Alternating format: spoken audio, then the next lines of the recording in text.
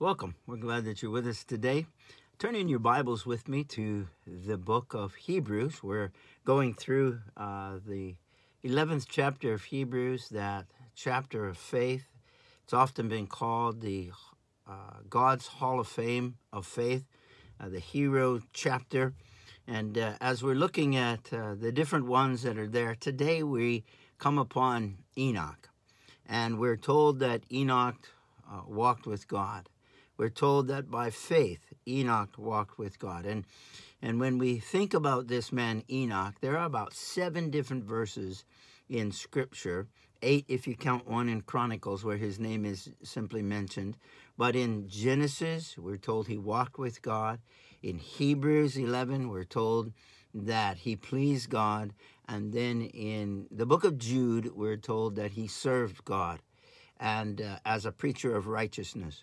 So as we think about that pattern, uh, walking with God and having a walk with God, an intimate walk with God that pleases God, and then out of that walk uh, and the pleasure that comes to the heart of God from walking with Him, that you're able to serve Him and you're able to tell others about Him.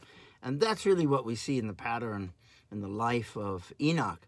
But I want to read, starting at verse 5, Hebrews chapter 11 and verse 5, we read there that by faith Enoch was taken away so that he did not see death, and he was not because God had taken him. For before he was taken, he had this testimony that he pleased God. But without faith it is impossible to please him. For he who comes to to God must believe that he is, and that he is a rewarder of those who diligently seek him. We have these two verses here in Hebrews. And then if we turn back to the book of Genesis in chapter 5, we read this that Enoch lived 65 years and begot Methuselah. And after he begot Methuselah, Enoch walked, Enoch walked with God 300 years and had sons and daughters. So all the days of Enoch were 365 years. And Enoch walked with God, and he was not, for God took him. And so we have those two passages that Enoch walked with God and he was not, for God took him. And then Enoch was taken away, and that he was he was not found because God had taken him. For before he was taken, he had this testimony that he pleased God. Now, I want to suggest to us for our consideration as we look at this man Enoch that there's three things that we can consider as we consider the fact that uh, that Enoch, as a man of faith, that faith lives for another world. Enoch lived for another world. And secondly, faith uh, it lives with an internal assurance that we find in verse 5 of chapter 11. And then, thirdly, that faith lived for God's pleasure. Those three things are so important as we see this.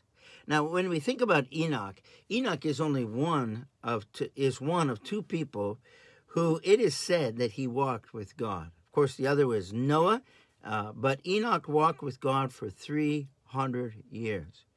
That expression, walking with God, it intimates intimacy. It has the idea of fellowship. It has the idea of fellowship and friendship, walking with God, communing with God. And he's a model of faith and he's a model of steadfastness. Enoch walked with God during what was leading up to be a wicked period of time but we're told that he walked with God. Twice it says that he walked with God. And when we consider that, uh, how can two walk together lest they be, be agreed, the book of Amos says. And so they were headed the right, the same direction. He was headed the, the, the direction that God was headed, and they were walking together. Little girl in Sunday school one day, she, when the, the um, Sunday school teacher was talking about this portion. She says, "Oh, I get it." Uh, she she went on to say that they were so close. Enoch and God were out walking together, and, and God said, Enoch, why don't you come home with me? You're closer to my home than to your home. And God took him, and he was not anymore because God took him. Now, that was that little girl's impression. But what does this idea of being taken mean? It means that, that he was transferred, he was changed. He went from one side to the other. He was carried across. That's the actual word. In fact, in another translation, it says he was translated. Uh, he was not found because God took him up. And when we think about that, God could take him because God could enjoy fellowship with this man. That by faith, this man walked with God and he had this sweet fellowship with God, and he was living for to, for the time when he would be with God. That was the world that he was living for.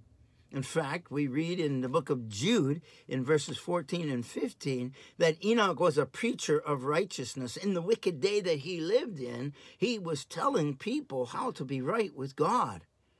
And it was a personal, um, uh, his preaching was very personal because uh, it says that he addressed God as the Lord.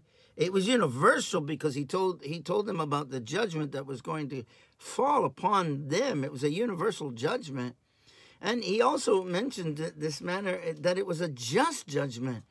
When we look there in verse fifteen of Jude, and and when we consider these things, uh, he gives us there in the book of Jude, it tells us because of their works and because of their words that they would have been judged. And so Enoch wasn't living for that world that was going to be judged. Enoch was living for another world. And it's a good reminder for us that you and I don't belong to this world.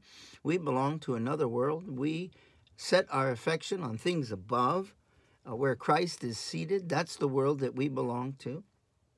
But secondly, I want us to see that here in Hebrews chapter 11, verse 5, that Enoch had this internal assurance. Now, look at that. He says that uh, by faith, Enoch was taken away so that he did not see death, and he was not because God had taken him. For before, and this is the assurance, for before he was taken, he had this testimony that he pleased God. Now, somehow God had related to him, whether God told him personally or whatever it might have been, he had this testimony that his life pleased God. What a tremendous thing. He obtained this witness, he had this testimony. The, another translation says, before his translation, he has this testimony that he pleased God. And if we look in verse 4, back up in verse 4, uh, we might get an indication as to who gave him this. Because it says there in verse 4, by faith, that Abel, speaking of Abel, he offered to God a more excellent sacrifice than Cain, through which he obtained a witness that he was righteousness, God testifying of his gifts, though he being dead still speaks. So it might suggest to us that it was God who told Enoch that his life was pleasing to him. And so when we think about this, uh, how wonderful to be reminded here that uh, this gives full assurance. And you know, for us today, as we're living for another world, as our hope is anchored in heaven, that it's secure in Christ, and and that's where we're being pulled toward. Uh, this gives us full assurance of faith, as the book of Hebrews in chapter 11, verse 22 will remind us that we have full assurance of faith. In 1 John chapter 5, uh, in verse 13, maybe I'll just read that verse in 1 John chapter 5, verse 13. He says, These things I have written to you who believe in the name of the Son of God, that you may know that you have eternal life and that you may continue to believe in the name of the Son. How good to know that we have eternal life, that full assurance of faith.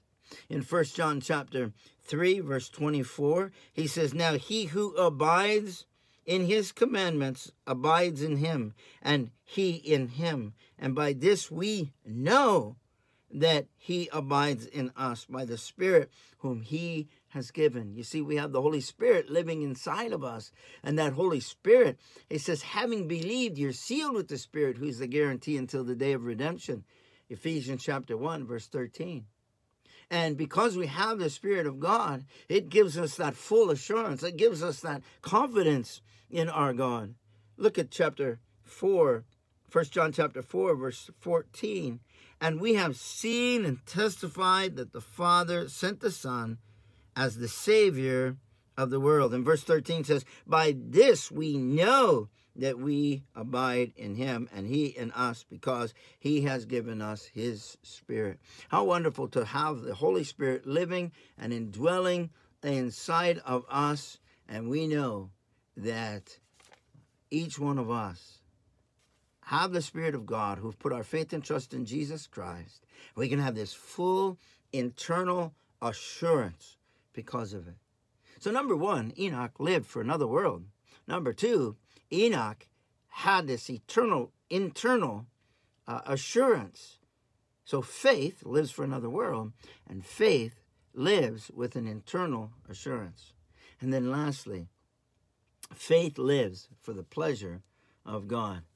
We read here in our verse, in verse 6 But without faith, it's impossible to please Him. For he who comes to God must believe that he is. Do you want to please God? The Apostle Paul says in, in 2 Corinthians chapter 5, verse 9, that we make it our aim to please him. In second in uh, in Second Timothy chapter two, the Apostle Paul said that no one who's been enlisted into service entangles himself with the affairs of this world, but his aim is to please him who enlisted him. And that's our desire that we would live a life as believers today to please the Lord. And so we have this faith lives for the pleasure of God. You know, an acronym for faith is what we've been using here in, in these lessons is F A I T H. Forsaking all, I trust him. Forsaking all, I trust him. You see, faith is not passive and it's not just uh, uh, doing nothing, but it, it's not checking our intellect at the door where, where we don't. No, faith is coming to God on His terms. It is believing in Him, in the finished work of the Lord Jesus Christ. It is accepting what God's Word says that I am a sinner and that I need a Savior. That's what faith is. And, and I would just encourage you, dear friend, if you do not know the Lord Jesus Christ is your Savior, if you've never put your faith, put your full weight. When I came into my office tonight, I set my full weight on this chair. And that's what faith is putting your full confidence and full weight in the finished work of the Lord Jesus Christ. And dear friend, if you're if you are a Christian, if you are walking for the Lord, living day by day, and you have difficulties that come up in your way, the storms of life roll in, well, I want to encourage you. Put your full weight in the Lord Jesus Christ. Trust Him day by day. And we're told that Enoch walked with God, have fellowship, have intimate relationship with, with the Lord Jesus Christ, meet daily with him in his word, listen to his word, follow his word, obey his word, and then commune with him as friend with friend, walk together and walk the same direction. And it will be that in a coming day, very, very soon, we will be no more because he will take us home to be with himself. Enoch is a beautiful picture of what you and I have to look forward to in the rapture. That one day soon the Lord Jesus is going to come and take us all to be with his with himself. Until that day, may you walk by faith. May you walk with God. May your walk please God. And may you serve the living God as Enoch was a preacher of righteousness. The Lord bless you. Continue on in faith.